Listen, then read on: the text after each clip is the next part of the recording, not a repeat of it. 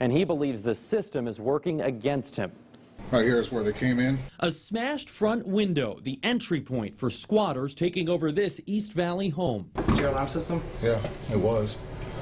And pulled it right out of the wall. And they settled right in, moving in boxes, couches, TVs, even stocking the freezer.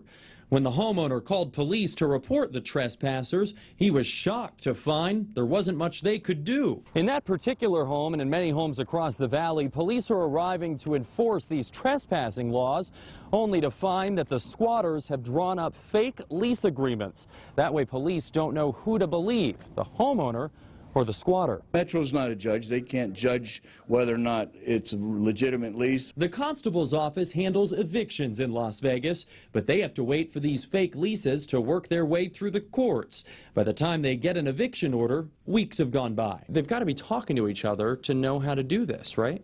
Yeah, I, I believe they, they are. The word's out there on the street. And they just break into the house, change the locks, turn the power on, and you know, and then they fight the system for as long as they can. In the case of our East Valley squatter home, it took three weeks to sort out. All the while, the home's been trashed, the pool pumps and heater stolen. This home, $20,000 in damage. What a mess. The constable plans to return to that particular home and try and catch these squatters and arrest them. He is vowing a crackdown, but when you look at just how many vacant homes are out there, it seems like an insurmountable task. We have the latest numbers. This is just for this month, shows 2,600 foreclosures so far in Clark County. That's just foreclosures. A lot of vacant homes out there for them to keep track of. And uh, the potential for this getting really out of control. Yeah. Especially, you know, hopefully, the, when they start charging people, it'll.